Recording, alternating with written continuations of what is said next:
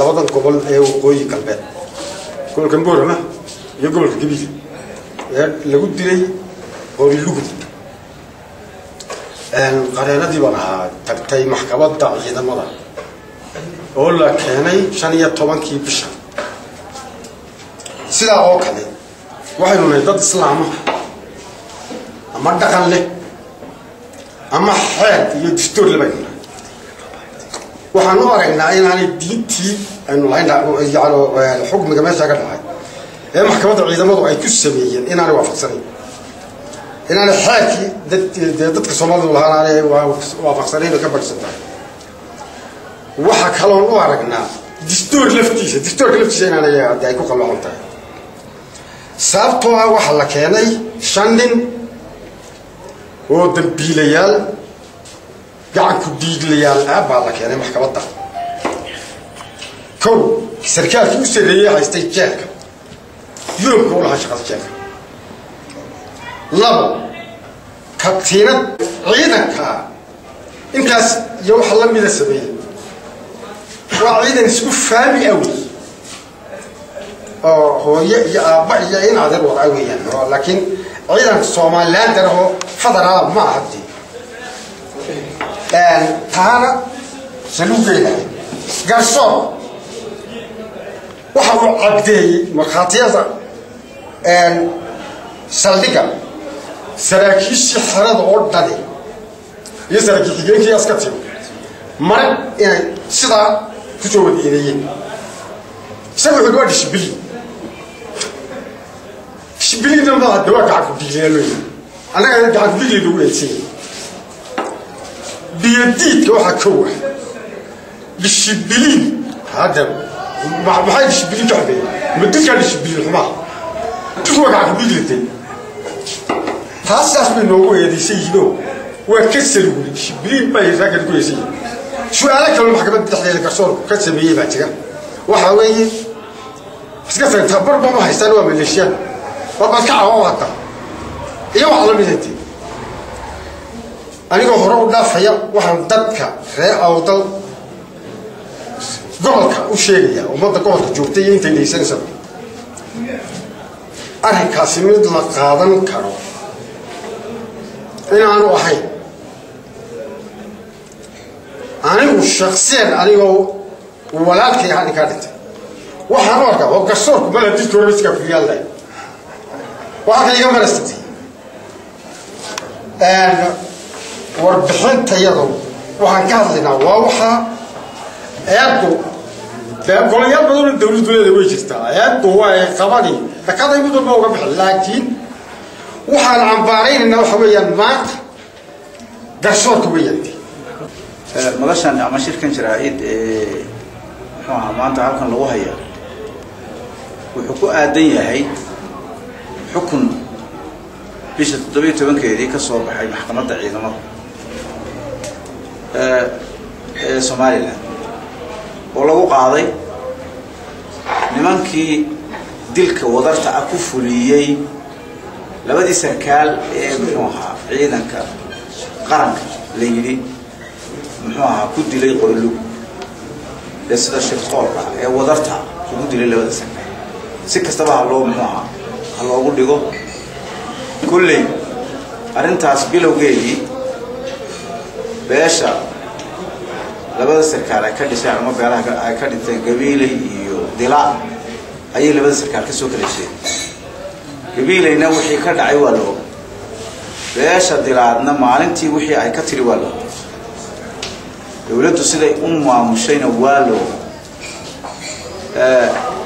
iyagoo cuskanaya ay dowladdu cuskanaysa qaran bay nimanku ka dhinteen beeshii iyo odayaashii iyo salaadiintii muxuu ahaa beesha ee ka hadashay arrintaas.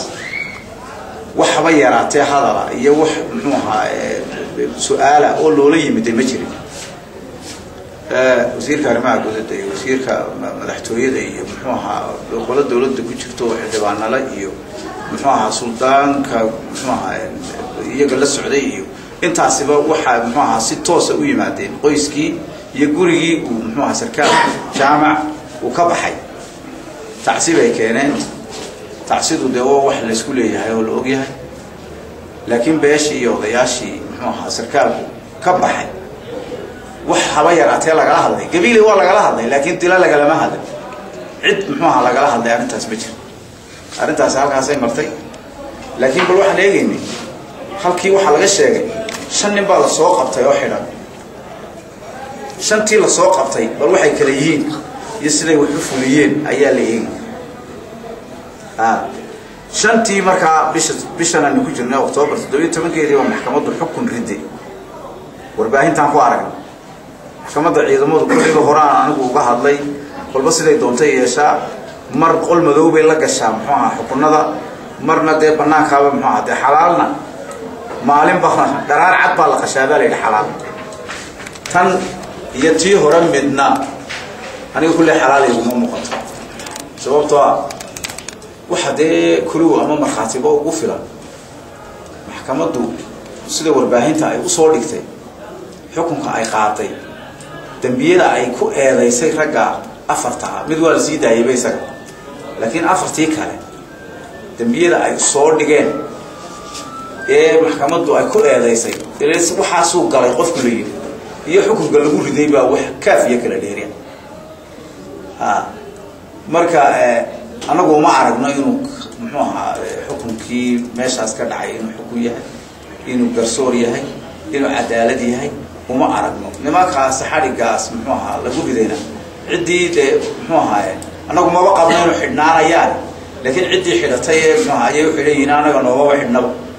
Mar hadday dhaaftay dee muxuu aha wixii ay galeen in xukunkoogii lagu fulin waayo horena waan ka sii hadal iminkana waan sheegayna ay dadkuna muxuuha ka dheragsan yihiin. Kuwa magaalo jooga maaha kuwa baadiyaha jooga. Warbaahinta iyo dad kuwa marag joogana ka lahaa ay ka sheekeynayeen oo ahaa. In saraakiisha lagu laaya meesha qorlugud la yidhaahdo inay ahayd waxaa meesha ka dhacay dil la yidhaahdo assassinationka dilka lagu dhahdo muxuu xagga sharciga.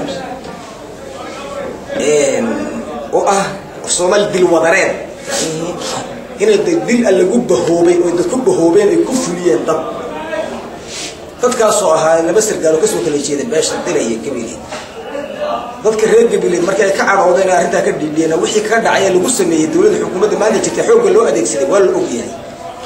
Warbaahintaay ku jirtaa dadkii lagu laayeen waa la ogyahay. Reer bilaad waxaa dadku ka yidhahdeen waa la ogyahay. Waxaa noo yimiday oo goobjoog anuu ka ahaa dowladda muxuu ahaa maanta joogta hogaamiyaasheeda wasiirada kuwa ugu firfircoon. Waxay noo sheegeen wax islaamnimada lagu qano aynagoo joogna xaafadda marxuumka meesha ay aad daxsaasda u yimaadeen. Waxay nagu yidhaahdeen waxaan ballan qaadaynaa islaamnimada ku ballan qaadaynaa mas'uuliyad ku ballan qaadaynaa isaawo waa la wada og yahay waxaa duuban intaasoo qof baan haynaa shana shantaas dilkay ka qayb qaateen. Xabad baa naga baxsatay. Bari baan ka keenaynaa. Dadka yaqaana annaga u dirayna kaa baxsadayna annagaa keenayna dowladnimada nagu aamina islaamnimada nagu aamina waxaas annagaa maxaa xukuumadda sargaalku hayagiibu saraakiisha dhibateen ahayn xukuumadda ka mid ahaayeen asbaabtaasi dilwadareed bay haayeen iyagu xodkooday nagu idhahdeen iyagoo soo dhan maxakamad baananu saaraynaa xukunkaanu ku fulina waa la arki doonaa. Axsan islaam markay noo sheegeen waxaa ku xigtay in la keenay nimankii bishan toddobiyo tobankeeda maxakamad maxakamadaas oo loo caddeeyo maragii goobjoog ay caddeeyeen wixii meeshaa ka dhacay ninkii qoriga siday ninkii xadhigga ka furay kii ku dhiftay kii heeganka lahaa kii la qaaday. Amaa daalik dilka marka la yidhaahdo waxaa maxkamadda wiilya la yidhi discibliin wax la yidhahdo waxaa xaaraana yani ama sharciga islaamka wax loo adeegsadaa. Kii iminka muxuuha lahaa hogaamiye qurbajoogu warma sharciga islaamka noogu duwada waxaana yidhaahdeen. Waana ku samirna kaasoo waxa naga yidhaahdo haddii muxuu ahaa marka baynalka ee wax lagu xukumo adeer maxkamadda ciidanka imika la sheegaya oo maxkamadda in adeer baan u malaynaya in adeer wax la yidhaha baa jira. Oo imika muxuu ahaa beryahan dambe oo aada noogu dhegsan adeer sharciga waa kan qoran waa idinla naqaanaa. Hade idinku maydaan qorin adee waa wax qoran. Waa laydinla akriyi waxaan imika ku soo gabagabaynaa waxaa imika lagu hi. Nin dilwadareed geystay oo faldambiyeedka qoriga oo ku galay kii u dhiibay xaadir yahay oo anaa u dhiibaa leeyahy oo mara ku caddaynayo discipline ba waa madadaala la yidhaha waxaa amusement kaaniba madadaala yani maxkamad ma waa madadaalo arrintaas. Waxaan aqbalaynana maaha madadaaladaas waxaan leeyahay anigu arrinkaa cuqaasha iyo duqaydu ka dhawaajisay. Jaamac maxamuud xaddi iyo sargaalkii kale gabiley u dhashay. Waxa weeye cadaaladnimada kolka hore ku dhacday ee xerada lagu dilay inta hore cadaaladnimoba ahayd iyo ciidan beeleedoo dee macnaha qola ah kadib maxkamaddii lafteedu waxay noqotay qolo maxkamaddii ciidamadii cadaalad bay u taallaalalahaa qolay noqotay. Waxa weeye annagu wax noo cuntama maaha. Waxaan yeelana maaha. Waxa weeye wax lagu samra maaha. De waxa weeye inan iyo aabbihii yaa yidhaha dishibiliin bastar kelbiyo inanku aabbihii macnaha. Dee u canaanayo yaa kelabyahow la yidhaha waxa weeye dishibiliin waa kelabyahow dee. Annaga kelab wax noo cuntaba maaha. Nin gacanku dhiglaah oo kii qoriga u dhiibaya oo kii silsilada ka furaya oo kii gaarhka hayaya oo kii ooda ka qaadaya wax cuntaba maaha. Wax islaamnimo lagu dayana maaha. Nin gaalaan lagu daynin islaama joojiyo. Anigu waxaan ka hadlayaa waxa weeyaan fariin baan dirayaa fariintaa waxaan dirayaa salaatiinta somalilan cuqaasha culimada dadka waxgaradka ah. Waxaa kale oo aan sheegayaa dilkii qoorlugud somalilan oo dhan way cambaaraysa ha cambaarayso sidii wuxuu ku dambeeyey somalilan oo dhani mooga xukuumadduna waa mashquul baan filaya ereygan moobilada waa mashquul laydhaa xukuumaddu waa mashquul waxay ku mashquulsan tahay. Iyo madaxweynuhu wuu fadhiisanayaa iyo wuu kacaya markaa hay'adihii garsoorkuna fekaad bay heleen. Ee xukuumaddu horta hoosa u eegto waxa weeya hawlaha dhulka ka socda sabtidii dhaweyd waxaa ka dhacay xukun baa ka dhacay maxkamadda ciidanka ee hargeysa. Maxkamadaasi waxaa la hor keenay shan ka mida dambiilayaashii shantaas oo kale ahaa kii gaadhka hayay xerada guudkeega kii hayay ka furay ninka katiinadda kii fasaxay kii qorigiisii siiyey iyo ninkii saacaddaa gaadhka lahaa isaga ninkii saacaddaa gaadhka lahaa maxkamadda ciidamadu xorriyaddiisa u celiso waxay tiri waxa dhammaaday shaqadiisii. Afartii soo hadhay ayaa lagu xukumay kii ugu daraa ee shan iyo toban sano kii ku xigayna toban sano kii ku xigayna siddeed sano kii ku xigayna toddoba sano. Halkaana waxaa nooga caddaatay in loo hidinayaba xabsiga. Maadaama dadkii waxa weeye saraakiishii lagu laayay meesha aan ehelkoogii nahay naguma filla xukunkaa maxkamadda ka soo baxay. Xukun sii dhignaa baanu u aragnaa oo sii qorshaysnaa oo garsooraha u sii habaysnaa. Meel lagaga shubay mooye. Laakiin waxa weeye waxa kaloo lagaga soo baxay inuu raggii dambiilayaasha ahaa ee milatariga ahaa oo yidhaahda waar istaaga labadiinaas ciidan baad moodaysaa waa maleesh waa tababar ma qaadateen maya. Waa garsoorihii oo qareen noqday baa ka soo baxay. Oo qarinaya dambiilayaasha. Kelmadda discibliin maxay tahay? Discibliin dee waxa weeye marka la macneeyo waa bilaa edeb ama maxishoode ninkii dilka geystayna maxishoode odaybaa inankiisa ku yidhaha bilaa edeb iyo aamu marka cidi kaga soo dacwooto taasina naguma filla waa in ninkiina loo keena ama walaalkiina loo soo xidhaa ama aabihii la xidhaa ama walaalihii la xidhaa.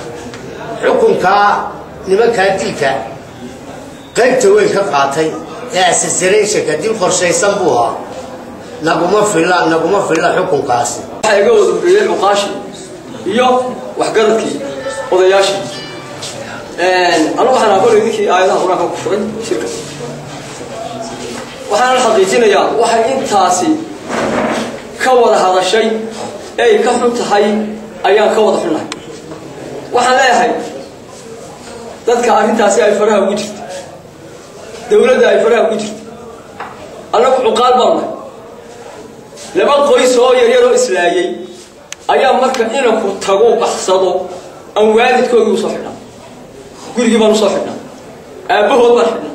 Hooyadood baan xidhnaa inankii baan xidhnaa si lagu xasilo uu ku yimaado isna haddaan cuqaasha nahay noocaasaan galo dowladdii aanu hoos joognay ee dee cuqaasha hoos tegisay odayaasha hoos tegay waxgaradka hoos tegay dee shicibkiisa hoos tegay uma aragno sidaan wax u odhanaynay dee uma aragno waxaan leenahay sida ay yidhaaheen odayaasha hore. Kuwaasina annaka nooma xidhna labadaas sarkaal u geystay dilka wada naqaanaa waa la yaqaanaa dishabiniin bay u xidhnaayeen nin dil oo silsiladii geystay oo qorigii loo dhiibay oo kamaambooste leh oo waardiye leh. Adduunka laguma arag. Waxaan ku qancanayna maaha ninkii meesha joogayna ee raggaa dilayna ee laayana waxaan aaminsana inuu ka qadanayo maanta. Maadaama kuwii kaleba haa inuu aqalkiisii ka qadanayo inu meel jiri baan aaminsana sidaa darteed waxaan ku soo ururinaya sida ay odayaashu yidhaaheen wax noo yaalla maaha. Waxaan ku qancaynana maaha xukunkaasi. Ciddii kastaa wax. Dawlad oo cadaalad buu helay cadaaladdu dee ummadayna iyay u tahay nolol. Halkan waxaan uga aragnaa. Horta kolley giirgiirka waan arkaynaa si kasta. Idaacadahaan ku aragnaa tifiyadaan ku aragnaa websaydadaan ku aragnaa. Waxaan aragnaa maalin kasta dadkii dadka iyaga isku xidhxidheen laayay oo la leeyahay waa mujaahidiintii. Taa lafteedu culays bay nagu tahay. Kuma faraxsan. Waa wax marka hore baan qabno. Markaas sidaa cuqaasha iga horraysay ay yidhaahdeen war annagu waxaa uma aragno cadaalad. Halkii kuwii horeaanu kaana marinaynaa kuwii hore lanaga laayay halkay joogeen ayuu noo taagan yahay. Yeelina mayno. Assalaamu calaykum. Iyagana allahu naxariisto eheladoodina ilaahay samiriyi baana ka siiyo. Mar horena waa laga hadlay iminkana waa laga hadlayaa.